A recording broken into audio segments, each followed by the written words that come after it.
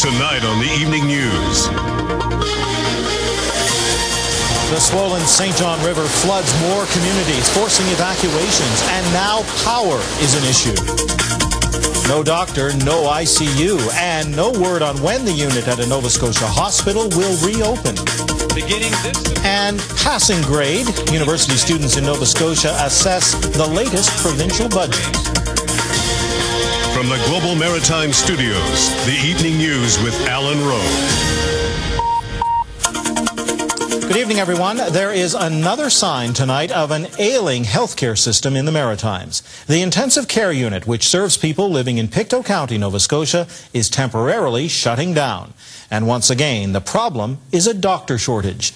Global's Jacqueline Foster has more.